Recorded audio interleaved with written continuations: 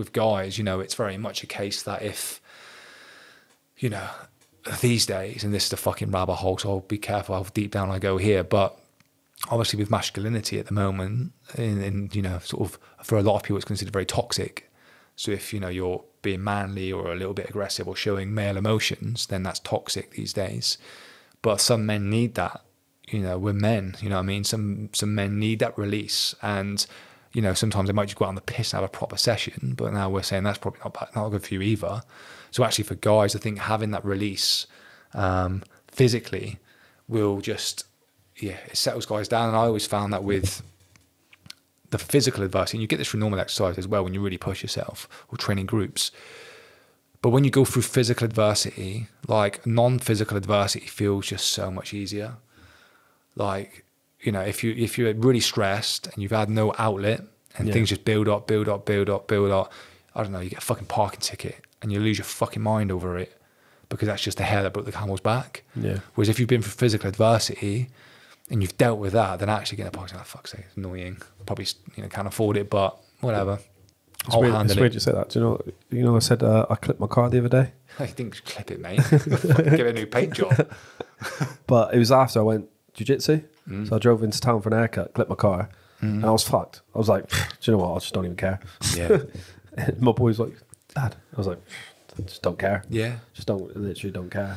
Yeah. You know, it's just at that point where it was like, I was so knackered, Yeah. but in a good way. Yeah. That I was just like, I had no aggression, no no like worry left. I was like, Yeah. that's what I'm gonna do. Yeah. You know what I mean? It, it's gonna get me nowhere kicking off. Yeah, at exactly. myself. You know what I mean? What I would say as well with jujitsu, if you're if if you get that bug and you're in, it makes you not want to drink as well. Like Mm. a lot of the times, I don't want to. yeah, that never really worked for me, mate. Yeah, which I, which, but it, for me it does Yeah. because I, I know for a fact that if I was to drink, Yeah. I wouldn't want to go jiu-jitsu. Yeah. So you, you know what I mean? Yeah. Like I'd rather if you give me the option now of going uh, 201 no gi on a Friday night or going out to the pub, it would fucking every time be jiu-jitsu. Every time. Yeah, no, it, it, it does, and it, increases that health-seeking behaviour, doesn't it? Especially because it's like very performance-based, as we just talked about. It's very much about application.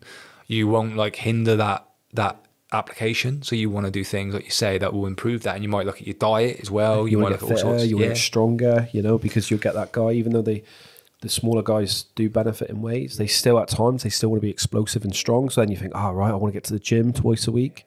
I want to work on some S&C. You know, I'm not going to drink as much because I want to get good. And because, because you're developing the skills yourself, you're not doing it for a team, you're not doing it for someone else, you're developing that for you. yeah, So whether you get injured or whatever, you still always have that skill there.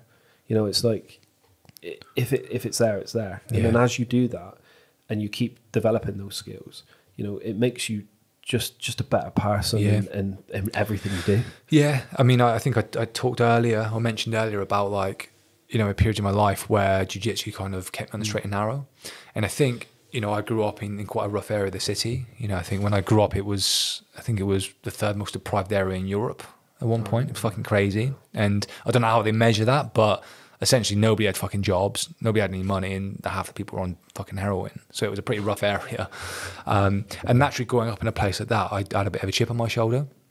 And it wasn't like, you know, it wasn't my, my, my parents were good people. They weren't from that area. They just, you know, made some poor decisions, I guess, and moved there. And um, I grew up there. But as I got older, like it was, I always had a bit of an attitude problem, essentially, growing up around that area because you kind of have to. Because if you ain't got an attitude problem, then you just become a bit of a, you just become a victim. So you've got to be a bit, a bit aggro to, to just walk down the fucking street in peace. Um, so as I become an adult and started getting jobs and, and moving out of those areas, um, it was I still had that kind of attitude, and yeah, it was it was like a bit of a chip on my shoulder, but also like I don't know, like a, a, like an arrogance where you know I wasn't prepared to kind of listen to other people and thought I knew best and everything else.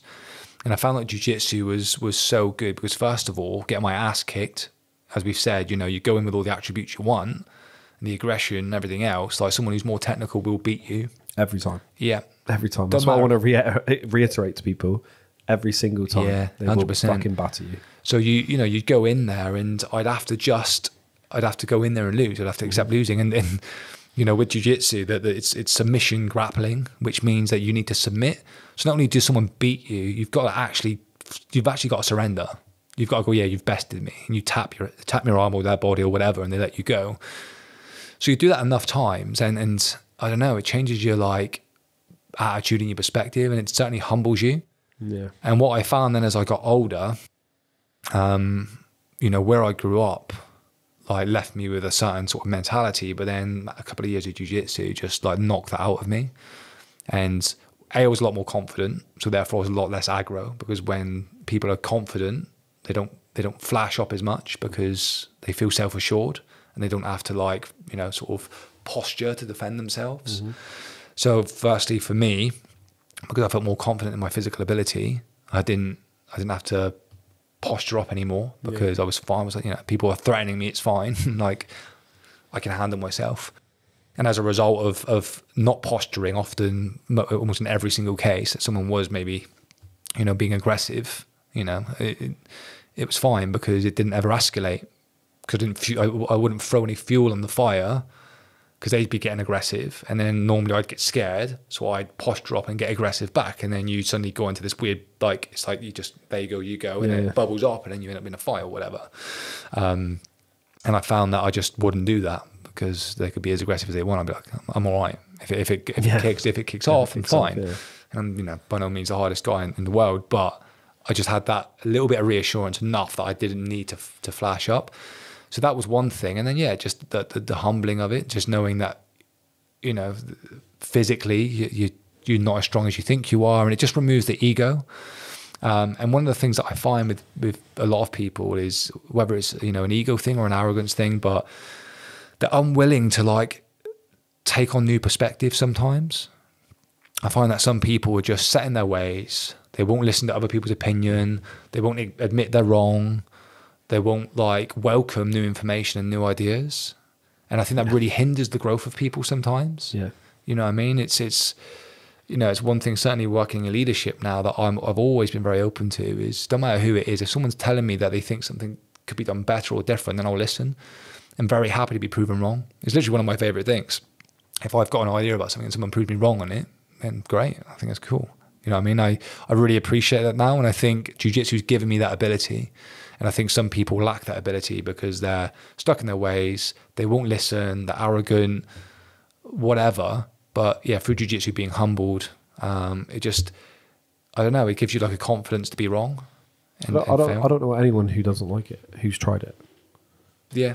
Does that make sense? Like you, you think of all the not just famous people, but you, you know, you, you look at Joe Rogan, you look at Jocko, you look at all these top top people who've done amazing things with their lives. Yeah. and it all stems through martial arts, jiu-jitsu. You know, they they get that discipline and that that work ethic from that. Yeah. So one thing I'll say, especially being around it for so many years, is is not all gyms are made equal. Um, so some people will listen to this and go, "I've tried jiu-jitsu, I fucking hated it. Full of wankers, got beat up, whatever."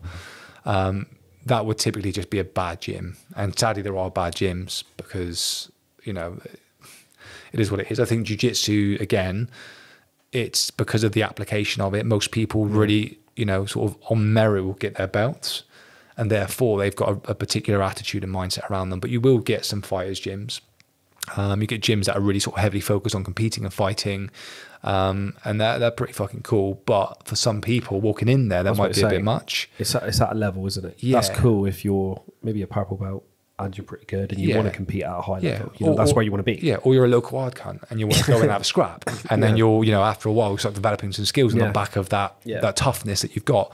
But you know, for your doctors and your scientists and you know the the other people that we train with Yeah. that that don't want to get filled in, it may well be that they've just gone to the wrong gym. So my advice to people is, if you've been to a jiu-jitsu gym and you had a bad experience, try another one. Like Yeah. they're not all the same, um, and sometimes it's about finding the right coach, the right group of people. Yeah, the right fit. Yeah, the right fit. Yeah, horse for courses. So not everybody's you know sort of um, ethos and uh, style of, of training will suit everybody, but I think for pretty much everybody, um, jujitsu will drastically improve their lives because it will it will give them a level of confidence that they've never had before.